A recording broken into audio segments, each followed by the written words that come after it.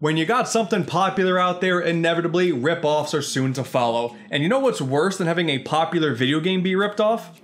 You being ripped off by not having solid web security. That's right, today's episode is sponsored by NordVPN. Do you like that? Do you like that little transition?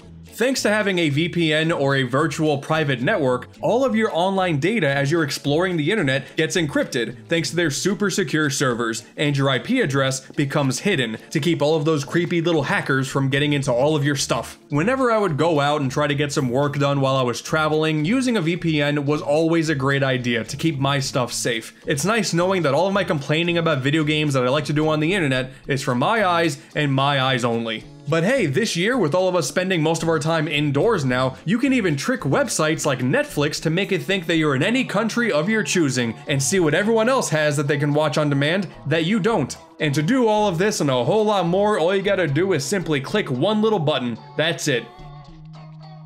Wow, that was incredibly easy. And you mean to tell me that by going to nordvpn.com slash antdude and using the code antdude, you get 68% off? Only 371 a month plus an additional month for free? That's too good of a deal to pass up. Where do I sign up? Oh yeah. Big thanks to NordVPN for sponsoring today's video and offering such a sweet deal to all of you viewers out there. And with that being said, let's get into some ripoffs.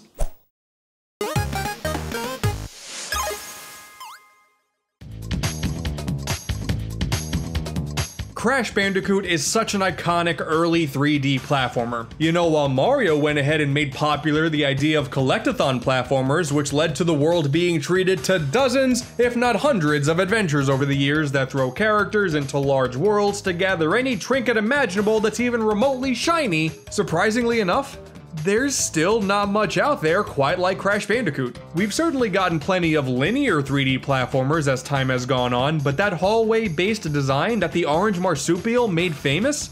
Yeah man, Crash is still your only real source for that. I suppose that's due to how limiting this idea could be. You know, there's no massive imaginative landscapes, you typically only move forward and backward, but maybe side-scrolling if you really want to get crazy. I guess developers just never really knew how to take advantage of it. Even when you look past the original trilogy, easily where that gameplay model shined the brightest, we got Wrath of Cortex after that, which definitely, um, you know, it tried to do the same thing, just didn't really do a great job of it. Still can't get over how Cortex looks like he has a million teeth. Crash of the Titans kind of followed a similar style as well, more specifically the DS version though. That feels a whole lot more classic than its console counterpart in my opinion. And of course, we also have Crash 4. It's about time, going back to what made that series awesome in the first place, and that is really sweet. But yeah, that's that's about it. After oh. Wrath of Cortex, Crash would go pseudo open world with Twinsanity. The original developers at Naughty Dog would go even bigger with Jak and Daxter. If anything, I always felt like the first Sly Cooper was a great adaptation of that hallway level design. But even then, admittedly, it's a bit of a stretch, and it doesn't even matter because it was abandoned in the sequel. But I was determined to find some games out there. They had to exist, and especially with Crash 4 on the horizon, I was definitely in the mood for it. Which, by the way, if you want to see some coverage on that game when it releases, you're gonna want to subscribe, because I'm totally gonna do that and I would appreciate it. But there had to be something. There had to be games that must have released back in the day that were either influenced by or absolutely ripped off Crash Bandicoot. There just had to be.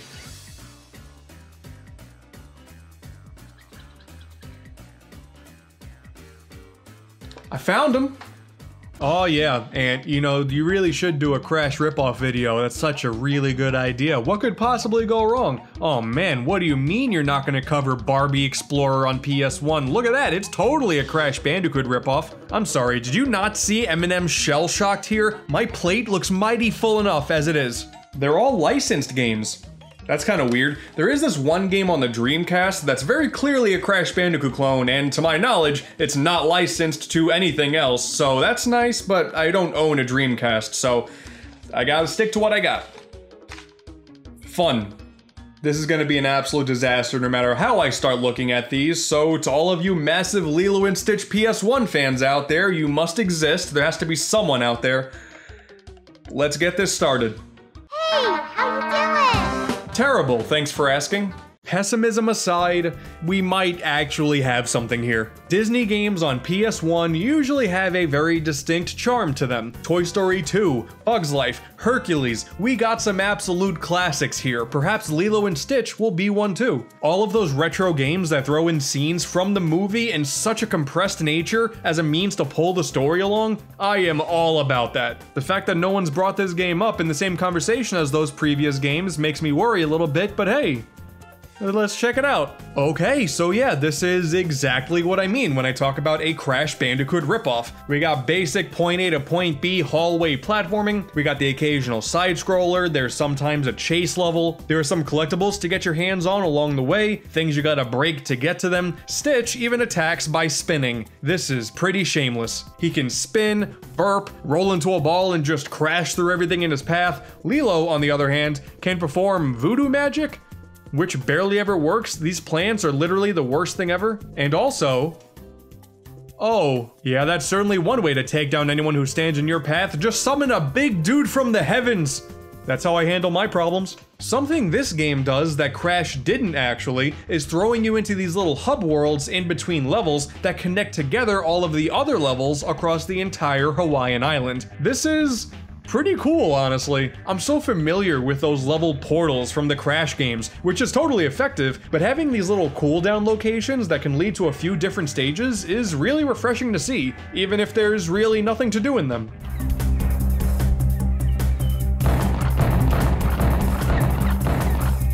Hey, hold on a second. There were no rock golems trying to kill Lilo in the movie. Okay, we got aliens. Yeah, that makes sense. There's the big detective dude. I remember him. Myrtle is in here as a boss that you have to race, and yeah, that totally makes sense. I definitely don't recall stone golems tossing lava rocks at a small girl trying to kill her from the movie. Yeah, no, gotta tell you, that part does not ring a bell. Oh, there are so many of them too, and they all go down the same exact way. You just run around and then hit them in the back over and over again until they die. Why is Hawaii suddenly cursed with all of these rock monsters? This is definitely a problem. Yeah, I, I don't know, man. Lilo and Stitch is fine. It's inoffensive. It only takes about an hour and a half to complete. There's only one level that actually gave me trouble. It ends kind of out of nowhere too, actually, but hey, we do have some hallways here, so it's a Crash ripoff, alright. I guess it is better having a decent game than a terrible one, so there's that. Lilo and Stitch PS1, it's not terrible, so I can rest easy with that one. Next up, we have Donald Duck going Quackers. This time for the PlayStation 2. We're on upgraded hardware here. This should be pretty interesting. It's not going to be that much better, is it? The story here is pretty straightforward. While doing some undercover intel by the looks of things, Daisy Duck gets captured and it's all being broadcasted live on television. So of course, Donald makes it his duty to save her. There's this one dude though, Gladstone, he uses the teleporter before Donald gets to do so. So for him to get his shot, he has to travel to all of these different lands to gather a bunch of shiny objects to boost the machine's power. It's as run-of-the-mill as a damsel in distress story we can get here. I like to think in the grand timeline, this game takes place before Kingdom Hearts. You know, she started off working as a TV broadcaster, and then she becomes royalty. That's goals right there.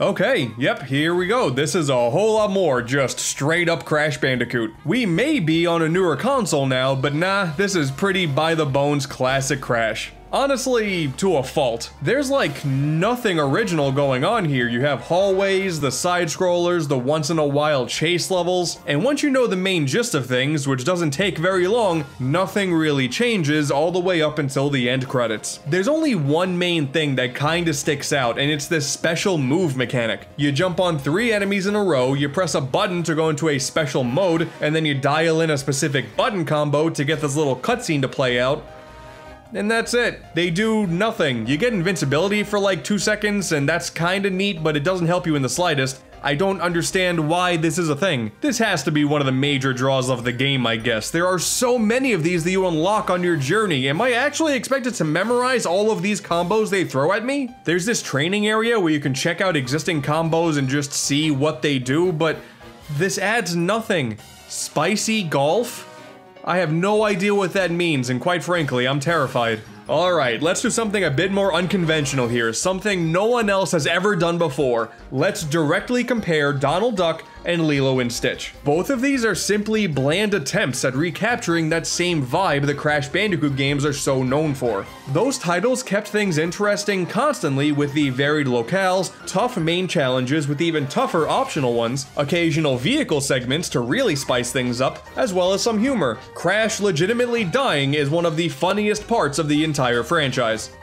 If Donald loses a life, well, he just gets kinda mildly upset. Oh man, he should take a chill pill. And if Lilo loses a life, we get to see a little girl cry as the screen fades to black. Finally, this is what the video game industry has been missing. I guess by pure virtue of having more frequent bad hit detection, Lilo and Stitch is definitely the more challenging game. Donald Duck Goin' Quackers is such a cakewalk by comparison. It's not the easiest game in the world, I did die a few times, but I think that's just because my brain was going numb. All I remember doing is holding forward, pressing the jump button a couple times, and then the credits rolled. Not a good look. So, for the sake of argument, I also wanted to check out the game on the Nintendo 64, just to see if it was more or less the same game, but not as good looking. I mean, for one, the cutscenes are actually done in-game, and there's full voice acting here. Hearing real voices come out of a Nintendo 64 game has always been pretty cool, so honestly, I love this. Oh man, and this UI, it so screams Rayman 2 here. It actually turns out that both of these games were made by different teams at Ubisoft, and it totally shows. Then we dive into the game and I don't know if it's just because I'm a big sucker for low polygon 3D and N64 platformers, but I actually like this a whole lot more than the PS2 version. It controls just as well, the level designs are actually very different, the colors seem to be a whole lot more vibrant to me, the hub worlds are a little bit more interesting in my opinion. I can't believe I'm gonna say this, but the older version of this game, I would actually say is better. I will say though, there are no special moves in this version, but really, I can only use the phrase the lack of spicy golf as a game's negative so many times. I can't speak for the PS1 version, but considering that is bound to also be a low polygon 3D platformer, I'm probably gonna say it's better as well. Good on you, low poly Donald. You really redeemed yourself. Listen, much credit to Disney here. They really tried. Okay, well, I shouldn't say really tried. They did try to capitalize on Crash Bandicoot's success with two of their franchises, so that's kind of cool. The games weren't very good, but hey, still worth a shot. With those two out of the way, though, I guess that means there's one more left. Fine. I'll do an M&M's game. I wish these guys were sponsoring me. I'm doing this for free. This is gonna be the death of me. Brought to us by the fine folks at everybody's favorite video game studio, Boston Animation. Here we have M&M... M&M Shell Shocked. M&M Shell Shocked. Oh yeah, man, nothing like a good old quality JPEG menu to really set my expectations flowing. Well, my yellow fellow, it's time these M&Ms had a little R&R. R&R? Is that a new candy? Okay. Alright, you know what? I, I hate that I think that's funny. So it turns out M&M Minis are going out of control and they're about to sabotage the entire candy factory. And since Red doesn't want to do anything about it, it's up to you, as Yellow, to save the day.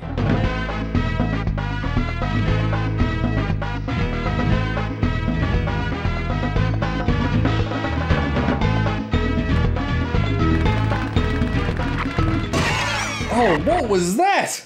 What is this audio design? Those boxers are so loud. Oh yeah, also we're driving by the way, so kudos. We have a vehicle segment to start things off. Yellow M&M knows how to drive. That's a scary thought. The real problem though, is nobody else can. Oh my god, people are doing supersonic speeds, driving in the wrong lanes, insane, out of nowhere U-turns, crashes happening left and right. This is a disaster movie. Crazy Taxi got nothing on this. The one positive though is I can no longer hear anything because of all the bleeding going on in my ear. So that's something. Oh, I am so done with all of the pain and torment. When is the level gonna end? Oh. Oh, it just ends. It just cuts right to the menu. I didn't edit that. It's that jarring. Oh, hey, another driving level. Cool. Can we fast forward to the actual platforming, please? All right, this is more like it. This is exactly what I wanted to see. Here's the Crash Bandicoot ripoff hallway level design that I've been dying to see. Oh man, okay, yeah, this is so shameless. Yellow can do a leg spin, you got boxes to break with items inside. I can't believe M&M Shell Shocked is the closest game to Crash Bandicoot that's not Crash Bandicoot. I can't believe that. Oh, and in case you had any doubts, yeah, the game controls terribly too. Crash had such a fantastic level of flow to how he played. That's one of the reasons why Crash 2 and 3 in particular are so good even to this day. Yellow is just so damn stiff by comparison, and there's a total lack of depth perception too, making all of the platforming way more annoying than it has any right to be. This is a video game starring some of the most famous candy characters of all time. I know I'm gonna sound foolish for saying this, but I expected more. There is no variety in the level themes either. The entire adventure after the beginning driving segment is just factory level after factory level. You cycle through different color schemes every now and then, and somehow I guess that's enough. Okay, maybe I just have to calm down. Let me just hit these boxes real quick. Oh, my mistake, those were ghost boxes. Should've saw that coming. The frame rate is also very inconsistent. The game runs terribly. All things considered, this is such a not fun game to play. Oops. What? There was nothing there. There was nothing there! Yellow just said, eh, screw it. Guess I'll just die. Oh man, I take it back about the variety. We do have a rocket ship level. Oh, this is gonna make me sick. What the, is that a chicken? Oh. Well, it was a chicken. After every chunk of three levels, we do get to watch a cutscene, and honestly, it's the best part of the entire game. Let's be real here, the M&M's personality is part of the reason why this brand has been going so strong for decades. So in that context, these are fine. Where are your hard hats? Uh, I have an unusually hard shell. Did not need to know that. When I want comments from the peanut gallery, I'll fill out a purchase order. Oh damn, Red's a savage! That was pretty good. You may not believe me when I say this, but M&M Shell Shocked on the PS1 is not very good. I know, truly a shocker to us all. M&M's got nothing on Lilo and Stitch and Donald Duck, I can tell you that much. Listen, while those games may have been anywhere from average to whatever, there's nothing inherently wrong with these games trying to rip off the success of Crash Bandicoot, but at least give us something decent out of it. This is this is a sin on humanity that proves that we are further away from world peace than we could ever fathom. In doing my research for this topic, I found out that according to the M&M's video game wiki, which apparently exists, Shell Shocked is actually a remake of The Lost Formulas, which was released a year earlier on computers. And there is something genuinely amazing and hilarious about this being considered a remake. The M&M's fan base and the video game fan base. There's a lot of possible crossovers there. A lot of market value can be seized with this opportunity. This was not the way to do it. Just stick to Crash Bandicoot. I mean, you already knew I was gonna say that before you went into this video, but it rings true, man. I can't believe these were the best games I could find, and they didn't even come close to matching their inspiration's quality. Maybe the Barbie game is kinda better? I'm never saying that sentence again in my life. I have an unusually hard shell.